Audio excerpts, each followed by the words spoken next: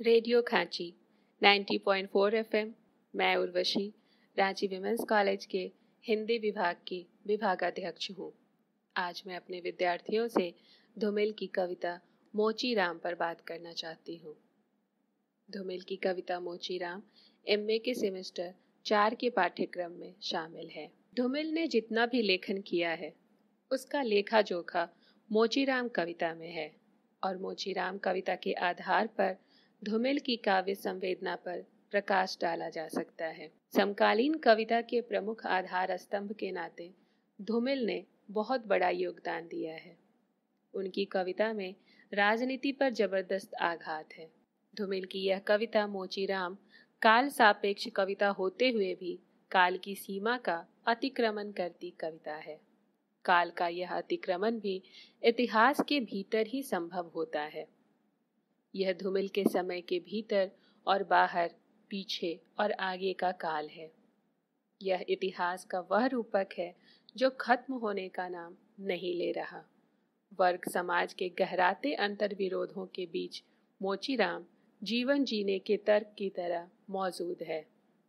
ज़ाहिर सी बात है कि धुमिल ने मोचीराम को चुना ही इसलिए है कि वह साधारण सा चरित्र इतिहास का नामालूम सा चरित्र मनुष्य के जीवन के संघर्ष को, उसकी मानवीयता और संवेदनशीलता को प्रतिरोध के भावों के साथ बेखटके कह सकता है। इस मोचीराम के पास कवि जाते हैं और इसी मोचीराम से वह उसके जीवन अनुभवों को पाते हैं। मोचीराम कविता की पंक्तियाँ हैं, रापी से उठी हुई आँखों ने मुझे क्षण भर टटोला और फिर जैसे पतियाए हुए स्वर में वह हँसते हुए बोला बाबूजी, सच कहूँ, मेरी निगाह में न कोई छोटा है, न कोई बड़ा है। मेरे लिए हर आदमी एक जोड़ी जूता है, जो मेरे सामने मरम्मत के लिए खड़ा है। मोचीराम अपने आत्मविश्वास को कहीं से भी कमज़ोर नहीं करता है। एक गैर बराबरी की व्यवस्था में, जहाँ तमाम तरह की भेदकारी दीवारें हैं और जहाँ भेदभाव के कारण अनेक समस्याओं से मनुष्य घिरा हुआ है। वहाँ मोचीराम के लिए इस भेद के कोई मायने नहीं हैं। उसके लिए सभी बराबर हैं। बराबर इसलिए कि वह तो जूते ठीक करता है, चाहे वह जूते किसी के हों। मोचीराम के लिए उसका काम उसे रोटी देगा, इसलिए उसके लिए सभी बराबर हैं।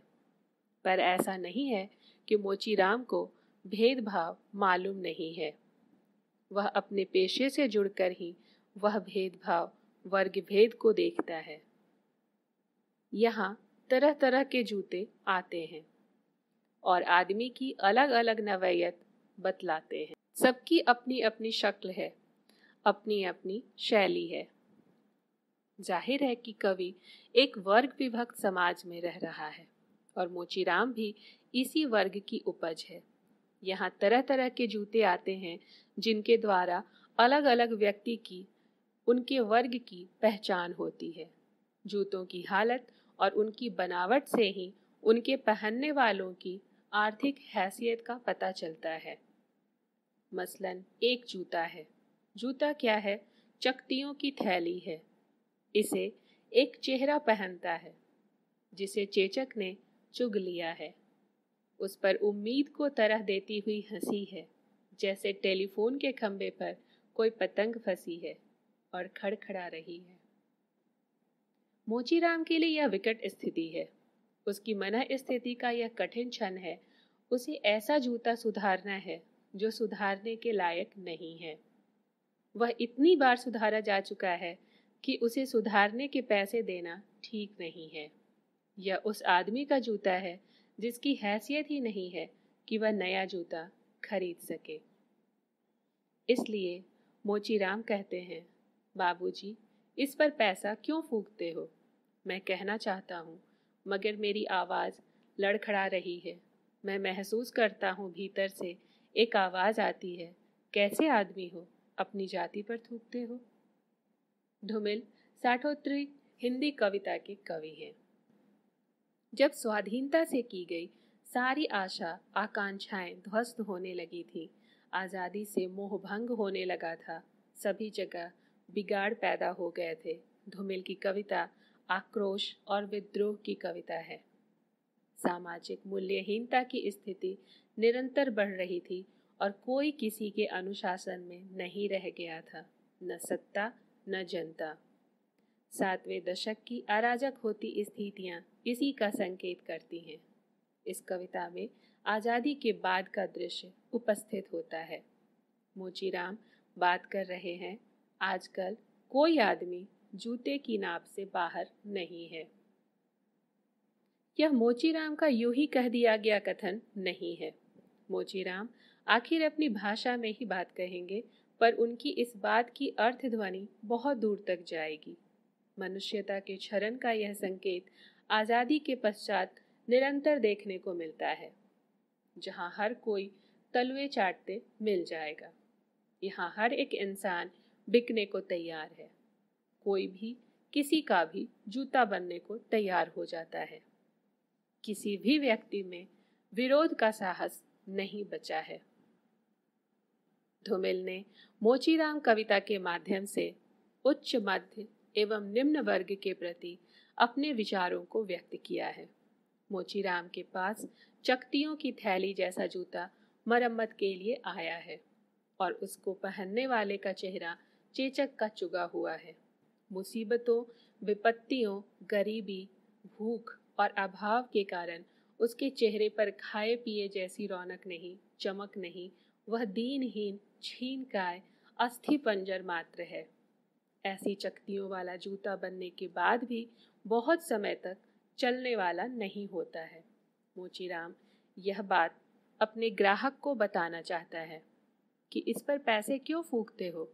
इसमें पैसे लगाना व्यर्थ है, लेकिन मोचीराम के मन में यह विचार आता है कि यह गरीब आदमी नया जूता खरीदने की हैसियत नहीं रखता है। मोचीराम और ग्राहक की एक ही जाति है गरीबी। धुमिल बताना चाहते हैं कि यहाँ दो जातियाँ हैं, अमीर और गरीब। बाकी की समस्त जातियाँ दिखावा हैं। गरीब की ना कोई जाति होती है, ना कोई धर्म होता है। गरीब स्वयं एक जाति होती है। गरीबी की एकमात्र जाति है, गरीबी और एकमात्र धर्म है, गरीबी। यह समझ मोचीराम को है। यही उसकी वर्ग चेतना है। जब वो कहता है, कैसे आदमी हो, अपनी जाति पर थूकते हो? अपनी ही जाति की उपेक्षा करते हो, उसकी गरीबी से घृणा करते हो, और फिर वह पूरे मनोयोग से चकतियों वाले जूते की मरम्मत करने लगता है। इस प्रकार मोचीराम निम्न वर्ग का प्रतिनिधित्व करता है और चकतियों की जगह जूते पर अपनी आँखें टांकता है। आँखें टाकना भले ही मुहावरा हो, पर यहाँ तो मोचीराम अपनी पूरी संवेदना और सहानुभूति तथा मनोयोग को ही प्रकट कर रहा है। मोचीराम के पास एक अन्य वर्ग का भी ग्राहक आता है, जिसके पास मोचीराम के मन में कोई संवेदना, सहानुभूति नहीं है। यह जूता बाँध कर आने वाला, जूता पहन कर आने वाले वर्ग से अलग है। एक अभावग्रस्त और दूसरा अभाव रहित वर्ग का प्रतिनिधित्व करता है। जूतों के माध्यम से वर्गों की पहचान मोचीराम से बेहतर कौन कर सकता है? यह मोचीराम कविता का एक महत्वपूर्ण पक्ष है। इससे उच्च और इससे निम्न वर्ग का ग्राहक मोचीराम के पास नहीं आता है। इससे निम्न वर्ग का आदमी जूता पहनता ही कहाँ है? उसे तो पूरी उम्र हर मौसम और हर रास्ते पर नंगे पैर ही चलना है। जूता खरीदने की उसकी हैसियत नहीं है। मोचीराम अति संपन्न वर्ग और अति विपन्न वर्ग की बात नहीं करता, पर जिस वर्ग को वह जानता है, उसके विषय में उसने बहुत कुछ कहा है। मध्य वर्ग काम तो मनवाना और पूरा लेता है, पर वह मेहनत आना पूरा नहीं देता है। मेहनत आने से साफ़ नट जाता है। इतना ही नहीं, यह संस्कारहीन मध्य वर्ग सड़क पर आती जाती स्त्रियों को कामुक दृष्टि से देखता है और अपनी व्यस्तता का ढोंग करता है। झूठी व्यस्तता और हड़बड़ी का दिखावा करता है तथा मोचीराम को आदेश पर आदेश देकर अधिक काम लेता है। मोचीराम के पास ऐसे ग्राहक भी आते हैं जो न तो समय के पाबंद होते हैं, न ही अक्लमंद होते हैं। ऐसे ग्राहक अपने सुख और सुविधा को दिखाने के लिए तनिक सी गर्मी में ही मौसम के नाम पर रोना रोने लगते हैं और बार बार पसीना पोछते हैं। मोचीराम, ऐसे मध्यवर्गीय ग्राहकों के प्रति सहानुभूति नहीं रखता, बल्कि उनकी अजीबोगरीब हरकतों को बड़े ध्यान से देखता है। इस मध्य वर्ग के प्रति धुमिल की कविता में यह पंक्तियाँ हैं, गरज यह कि घंटे भर खटवाता है, मगर नामा देते वक्त साफ़ नट जाता है। शरीफों को लूटते हो, वह गुर्राता है, और कुछ सिक्के फेंक कर आगे बढ़ जाता है। अचानक चिहुक कर सड़क से उछलता है और पटरी पर चढ़ जाता है। धूमिल ने मोचीराम कविता में वर्गीय विषमताओं का चित्रण किया है। धूमिल का यह मोचीराम नगर जीवन की चालाकियों से दूर है। धूमिल की कविता में ग्राम बोध और नगर बोध की अलग अलग स्थितियाँ देखने को मिलती हैं। उनकी कविता में, नगर के एक ऐसे मोची का वर्णन है, जो चौक से गुजरते हुए देहाती को बुलाकर रबड़ के तल्ले वाले जूते में तीन दर्जन फुल्लियाँ ठोक कर ग्रामीण ग्राहक को डांट डपट कर पैसे वसूल कर लेता है। सहानुभूति और प्यार यहाँ छलावा हो जाता है। पटकथा कवि में, कविता में कवि कहते हैं, सहानुभूति और प्यार अब ऐसा छलावा है, जिसके ज़रिए एक आदमी दूसरे को अकेले अंधेरे में ले जाता है और उसकी पीठ में छुरा भोंक देता है। ठीक उस मोची की तरह, जो चौक से गुजरते हुए देहाती को प्यार से बुलाता है और मरम्मत के नाम पर रबड़ के तल्ले में लोहे की तीन दर्जन फुल्लियाँ ठोक देता है और उसके नहीं नहीं के बावजूद टपट कर पैसा वसूलता है। कवि मानता है कि मनुष्य मनुष्य के बीच भेद बेमानी है।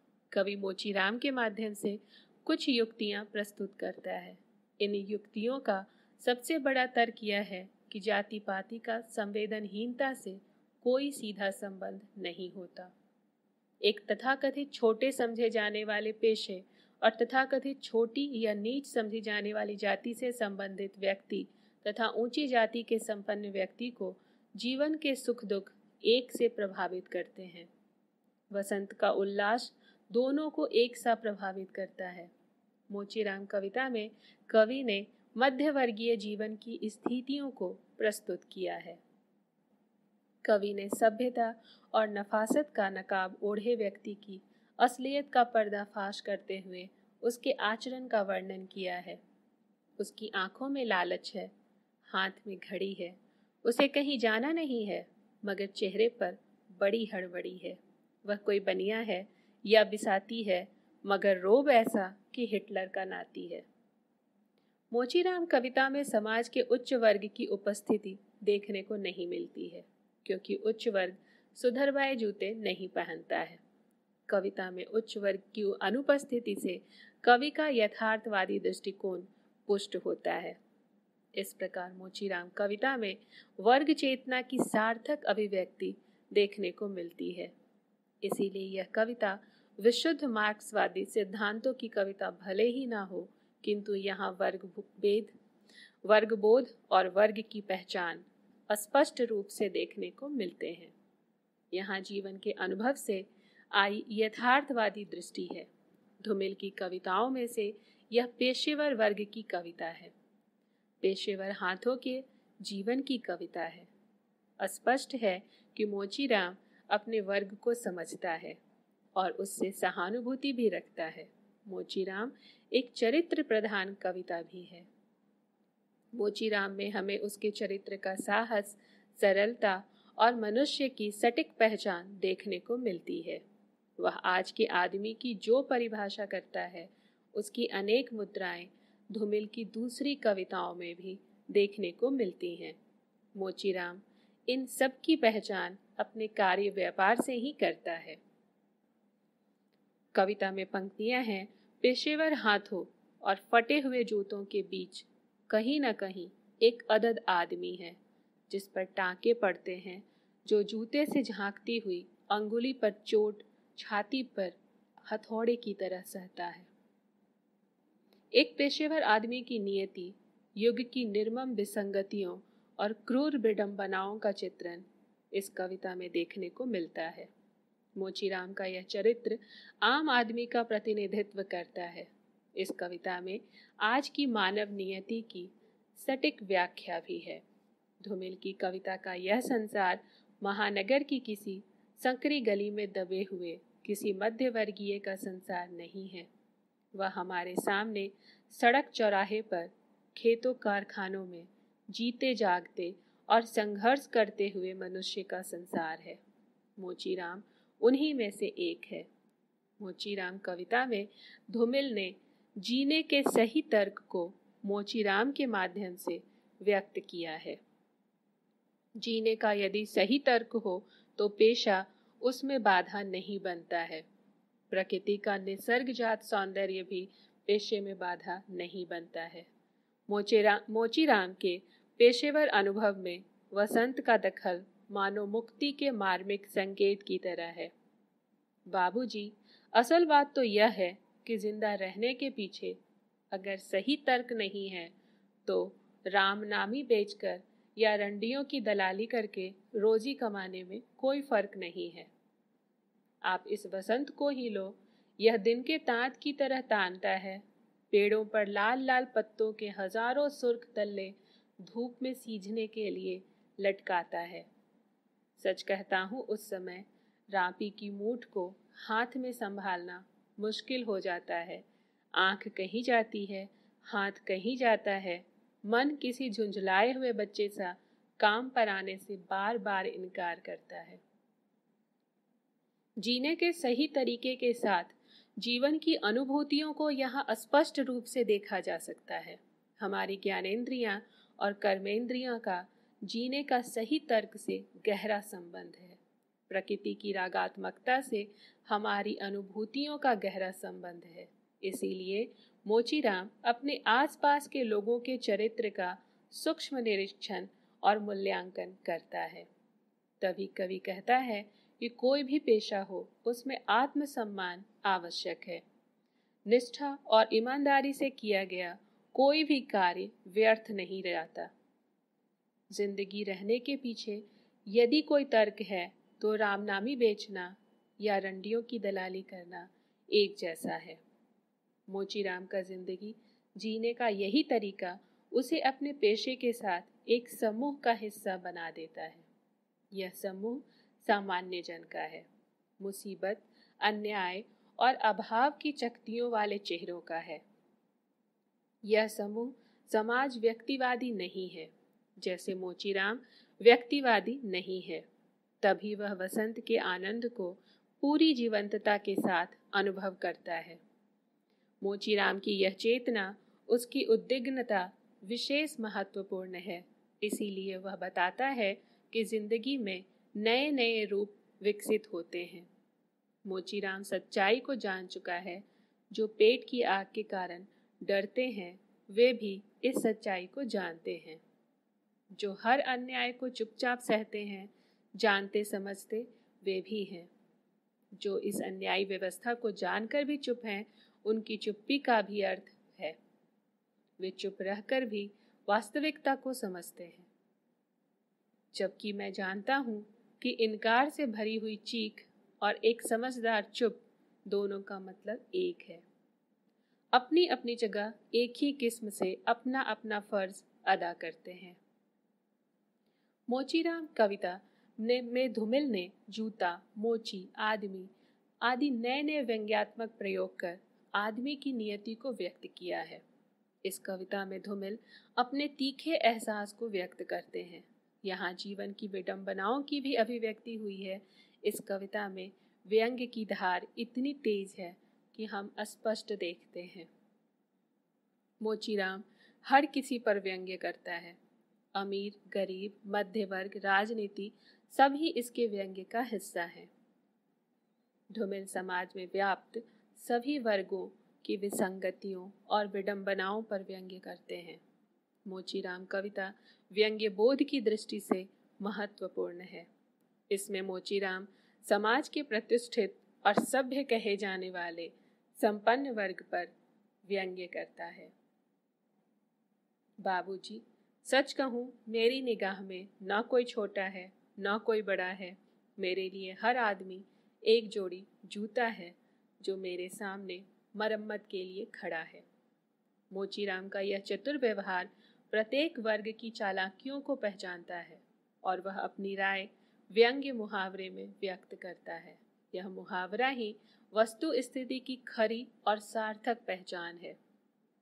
मोचीराम के कथन में केवल सुक्तियाँ और मुहावरे ही नहीं है, यहाँ काव्य कथ्य की प्रकृति का भी आकर्षण है।